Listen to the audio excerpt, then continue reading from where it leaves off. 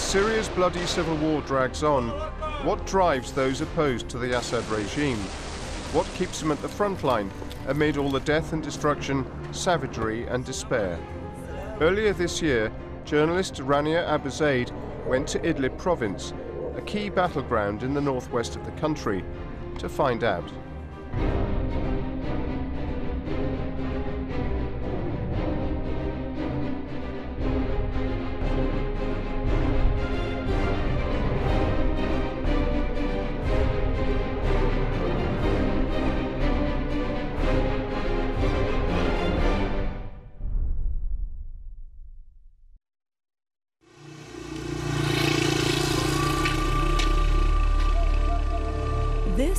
This is Mar Shimshi, in the northern Syrian province of Idlib. It's a small agricultural town surrounded by olive groves. It was once home to some 4,000 people, but most of its families have fled.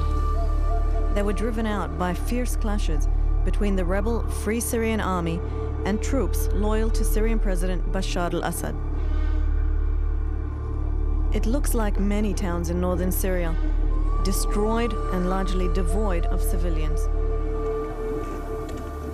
It's from this string of ruined towns that rebels hope to turn the tide against Assad's forces by seizing control of this strategic province. These men belong to a unit of the nationwide Farouk Brigades, part of the Free Syrian Army. We're close to the Wedi military base, one of the Syrian army's last major positions in Idlib province. The base is protected by two large outposts, which serve as its first lines of defense. One of them, called the Zalani, is just beyond this house. Yeah, Ahmed. Go, go, go, go. This war is being fought house to house, street to street, neighborhood to neighborhood. We're keeping low so the Syrian soldiers can't see us. The local Farouk leader, Haji Zaki, used to be a metalsmith.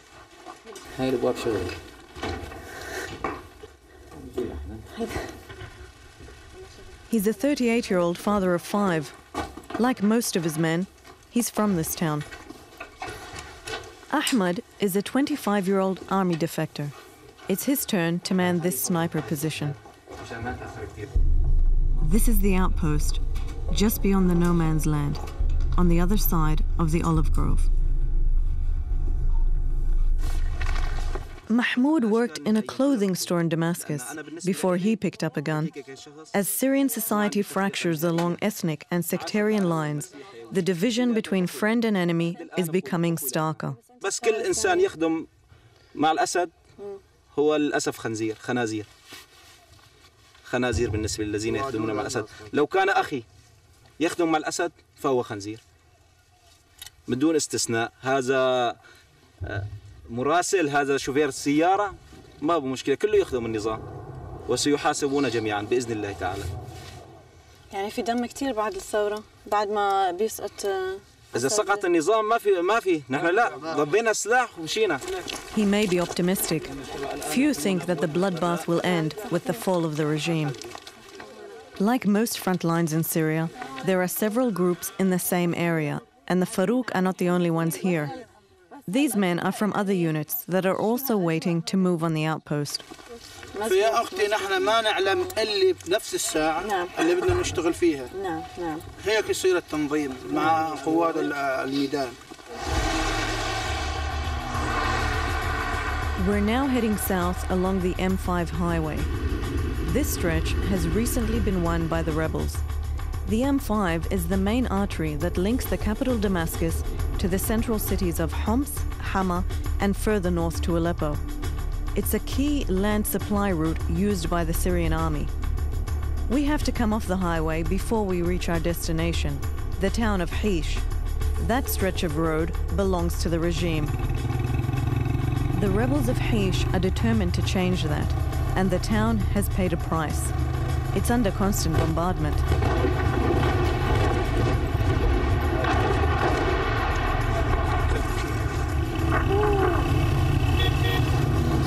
هيدي؟ هاي ضربة راجل If the rebels can cut the highway here, they could effectively trap Assad's men in Idlib, making it harder for them to receive reinforcements from further south. Cutting the highway is crucial to the success of the wider rebel offensive. They have lookouts positioned in various areas along the highway. محمد حسن محمد حسن معك محمد حسن معك سمعانك في شي سيارات خي جاي على الطريق في شي سيارات مو مبين علينا شيء ما هو مبين بس يجي عمم لي خي الله يخليك مشان نعرف نشتغل هون ان شاء الله ان شاء الله A few days ago, Abu Mahmoud and his men damaged this bridge with an improvised explosive device, planted under cover of darkness. Yesterday, they took out a tank here. The highway is still protected by a Syrian army checkpoint. But it's not the only regime presence. You can see it clearly. We gotta make it back. There's little cover except the olive groves, and they don't provide much. The rebels are trying to create their own cover. They've been digging this trench now for about two days, and um, the aim is to get it as close as they can to the highway. They've got several hundred meters to go to get closer to this ribbon of asphalt along the tree line. It looks like a country road, but it's actually part of the highway. Assad's forces won't let that happen easily. Warplanes are a constant threat. We get off the bikes and look for cover. The regime may have been forced to retreat to several bases on the ground, but it still dominates the air. It's coming our way. It's coming our way. It's coming our way.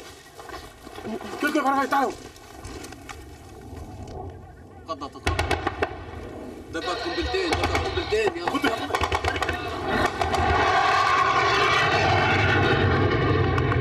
Stay, stay, stay. It's coming around again. It's coming around. It didn't drop anything this time, but there was evidence of previous strikes everywhere. rebels. Haji Zaki's family has joined the more than 2 million Syrians who are internally displaced. That's his, that's his house over there. That's his brother's house over here.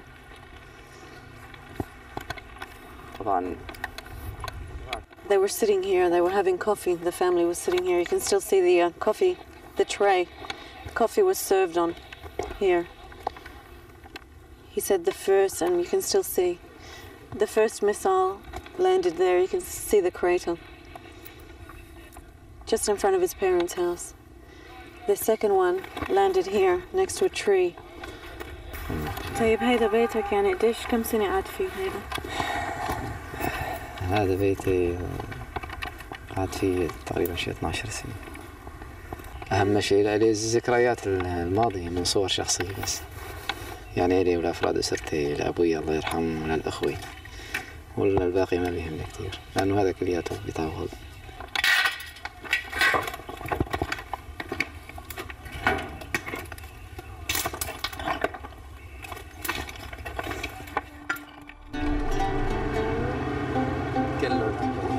Night falls in Idlib province.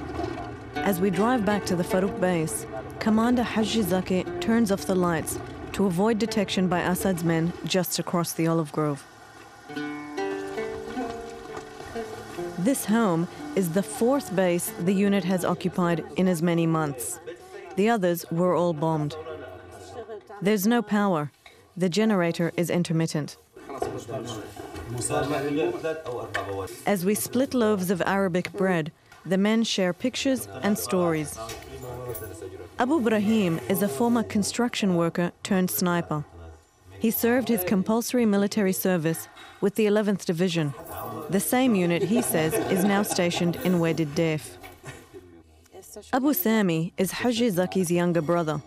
His only child, Sami, is seven months old. The talk switches easily from families to friends who have been killed to the fight ahead. في نقص كثير بالذخيره لانه لو في عندنا ذخيره والشيء اللي بحاجه له نحن كان وهذا الضيف ما ما طول معنا 10 ايام The lack of ammunition is a common complaint. Most of the rebel supplies are bought either on the black market or from corrupt Assad soldiers. Much is war booty.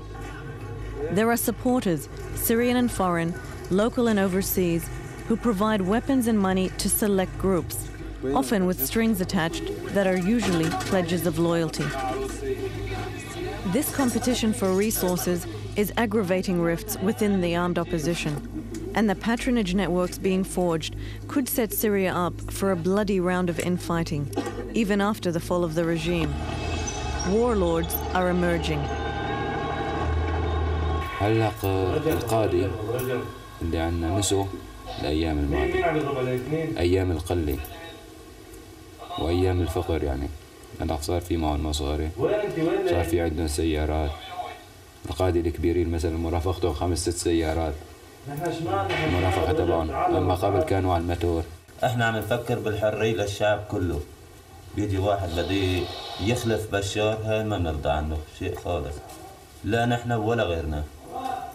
ما عم نشتغل إلنا. نحن رايح نحن هلأ بدنا نتعذب بعمار البلد. بس أنا عم بشتغل لابني أي واحد فينا عم بيشتغل لابنه إنه نح... ابني مثلا أو ابنه أو ابنه ما يعيش في ال... في المرحلة اللي نحن عشناها Colonel Afif Sleiman pays a visit to the Farouk headquarters. He's the head of the Free Syrian Army's military council in Idlib. It's meant to incorporate most of the groups on the ground. There's a council in each of Syria's 14 provinces. But the Free Syrian Army has never really been an organized military force, just a loose franchise outfit. That's a fact often cited as a reason why the rebels have not received greater material support from the international community. But without that support, the councils have little leverage over the men on the ground. انه طلبوا منا ط- امور تنظيميه طلبوا منا أمور تنظيمية. وقمنا في الأمور التنظيمية. وهي لصالح الثورة. اللي كان قدموا دعم واللي كان ما قدموا دعم. بس لكن هنوا ما التزموا بعهوداتهم معنا. هلا العاب بصير بالنسبة لل- للثورة السورية. آه، بيعطوها جزء بحيث ما توقف الثورة ولا تستطيع تقضي على النظام. Colonel Sleiman says international support has dropped off considerably when the US designated one of the fighting groups a terrorist organization. The US says the conservative Islamist group Jabhat al Nusra has ties to Al Qaeda, a claim it denies. And here on the front lines, Jabhat al Nusra is widely respected by other rebels for its disciplined fighting prowess. It fights with, but is not part of, the Free Syrian Army. The colonel leaves. We all bed down for the night. The mortar and gunfire continue for hours.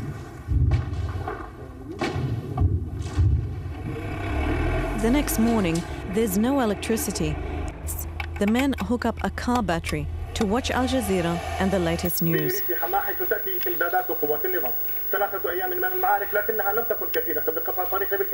This unit works in 12 hour shifts. These men have just come back from an overnight patrol, and they have stories to tell.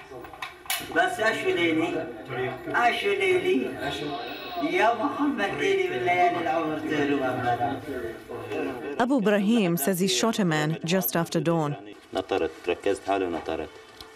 قام بين راسه. طلع من الفتحة تبع الدبابة بين راسه. ما أعطيته. لا طلع صار هون. خبطته. نزل على تمه الله أكبر. الله أكبر.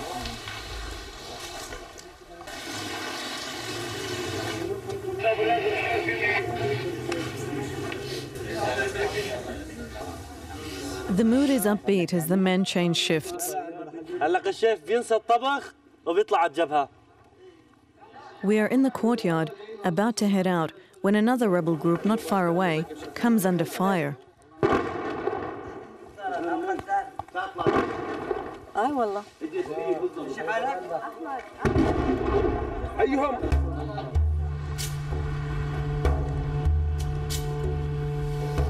Later that morning, we visit the colonel in his office. He's meeting local military commanders, going over what they'll need for the coming offensive. نحن راح نشارك برامي القنابل رشاش بكيسين عدد سبعة قاذف ار بي جي عدد خمسة وفي عندنا 14 ونص واحد و23 واحد من طن اذا كان الجو صار بده يطلع الطيران جبال لك The men are frustrated with the US blacklisting of Jabhat al Nusra.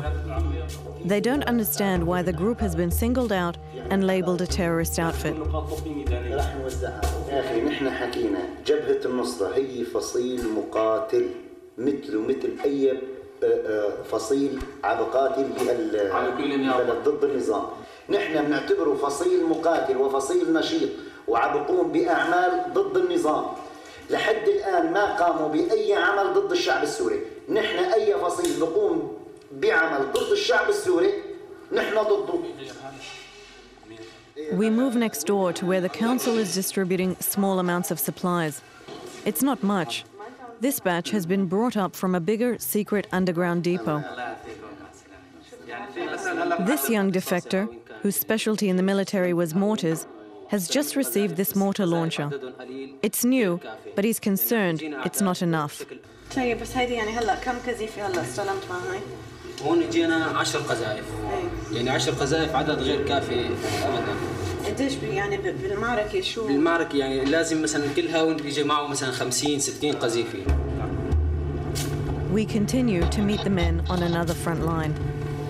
This is Mharit al Na'man, the major city in this part of southern Idlib. It's a devastated wasteland. The damage wrought here is testament to its strategic location. Parts of it are under regime control. Other stretches belong to the rebels. Some rebel groups in the city are trying to take out the second large outpost protecting the Wedid military base. It's called Al Hamidiyya. This is Abu Akram. He's part of the Islamist Sakur al Sham brigades. He used to be a national discus champion,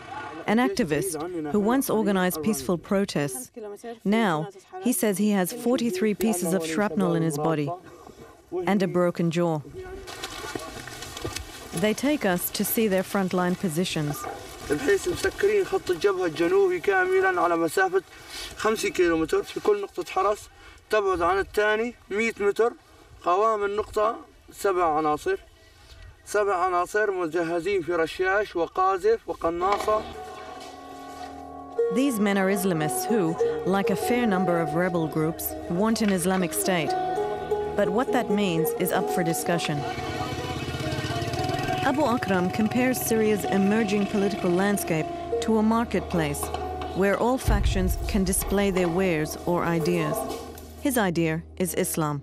نعمل جاهدين حتى إسقاط النظام أما بعد إسقاط النظام فكل شخص يقوم في عرض بضاعته طبعا أركز على هذه الكلمة نحن نعرض بضاعتنا عرضا ولا نفرضها نعرضها عرض ولا نفرضها والشعب هو اللي بيقرر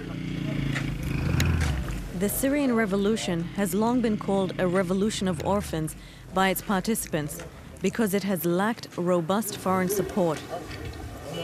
Some rebels say they don't want help if it comes with strings attached. فإن كانوا بدهم يتحكموا فينا ببعض الأموال أو بعض الذخيرة حتى يفرضوا علينا بعض الأجندات لن نسمح لهم طلعنا بالعصايب بالبنبكشن بنرجع للعصايب بالبنبكشن ولن يستطيع أحد أن يفرض علينا شيء أبدا The lack of international support has bred both resentment and pride. It has also pushed the rebels to become more resourceful. In Syria, if you want weapons, you have to buy, steal, or make your own. Abu Hussein has been making his own rockets for more than a year now. He's bringing them to the Wadi Daif fight. He used to be a civil servant. His colleague, Abu Khalid, is an army defector. هذا اسمه شو عندكم أنتم عندكم 3 3 Each empty rocket weighs about 11 kilos. It has three parts the body, stacked with potassium and sugar, the explosive head, which is mainly aluminum nitrates, and a detonator. The Freedom 3 has a range of 12 to 15 kilometers. They're using the street signs uh, for the fins of the rocket. They've been معنا using اي جهه مادي ما في معنا اي جهه اضطرينا للعمل هذا يعني اضطرينا للبواري المي العاديه واضطرينا لاي قطعه حديد يعني هاي شايفينها إذا- اللي بيعرف عنده خبره فيها القطع الحديد كل كل قطعه من جهه يعني عباره عن آه، نفايات نفايات They're also making their own rocket launchers. This is a prototype made to standard specifications so that it can fire projectiles captured from the regime. They've taken their rockets to battles in Hama, Aleppo, and now they're getting orders all the way from Damascus. They don't sell them, they give them away. Each rocket costs several hundred dollars to produce. I ask where they get the money from.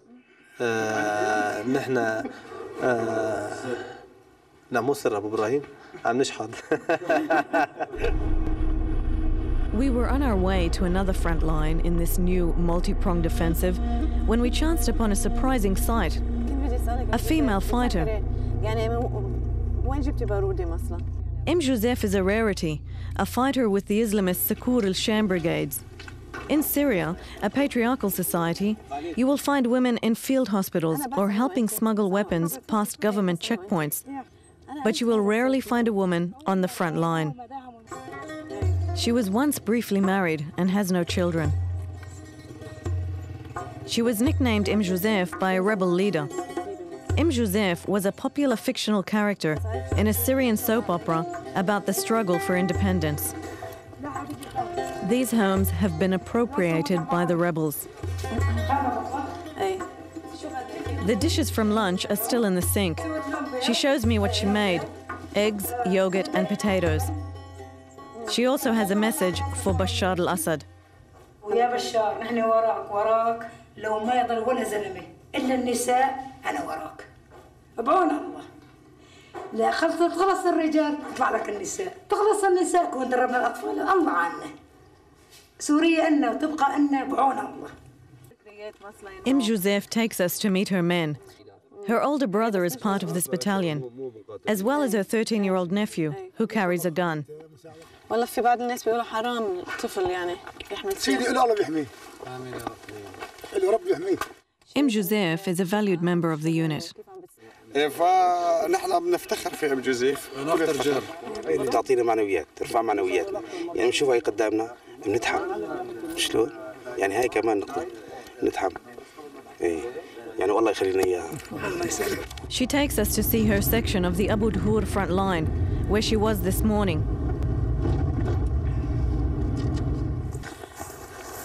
لازم جايب معك الرشاش لا تعرف طياره تطلع كذا Two days ago, her, her and her men were here, and this uh, house was struck. They were just here. تطلع لفوق يلا. This is the front. من فوق تناول عليه تناول هيك بسيط من هون This is the front. Just keep the camera low. The airport has been besieged for months. It's a helicopter airbase. Its 20 or so aircraft have effectively been grounded or destroyed. Very little gets in or out. Helicopters from elsewhere have to airdrop supplies. We head back to the Farouk headquarters outside Wadi Daif. It's busier than usual. They're preparing for the upcoming battle, gathering ammunition, holding strategic meetings. Men from other units are checking in. Commander Haji Zaki is pleased that there is greater consensus among all the groups participating. علماء الدين لهم فضل كبير علينا بهالموضوع هذا لانه هن اللي وفقوا بين هالناس وجمعوا هالناس كلياتهم على بساط واحد Outside, his men are ready for the fight ahead. لك انا ماني راضي يا آخر كلام الشهادة أو النصر لا تراجع لا استسلام بدنا نضل نحارب ونقاتل لحتى نخزي هالكلب ونطالع برا سوريا Last month, after this film was made, Syrian regime forces managed to break the siege on the bases at Wadi Daif and Hamidiyah. The rebels are now trying to re establish the blockade.